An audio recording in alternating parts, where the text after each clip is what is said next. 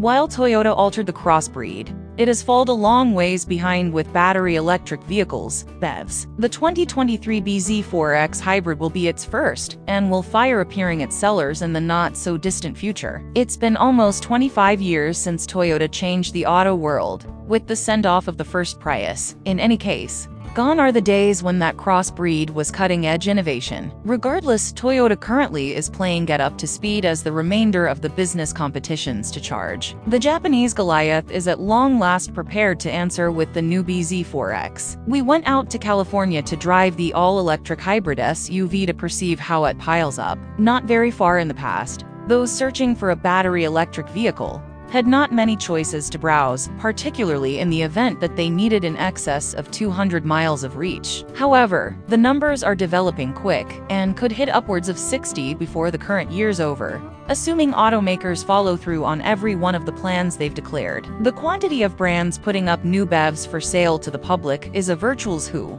from Audi to Volkswagen and, surprisingly, Vietnamese startup VinFast. Add Toyota to the rundown. The Japanese monster presenting the first of 15 models it will present throughout the following couple of years, named the BZ4X. It goes discounted for the current month in two different trim bundles, and with a decision of one or the other front or all-wheel drive. It even offers a touch of rough terrain cleaves, However, you won't take it out to Moab or the Rubicon Trail. The BZ4X name doesn't move effectively off the tongue. However, a shorthand first means past nothing.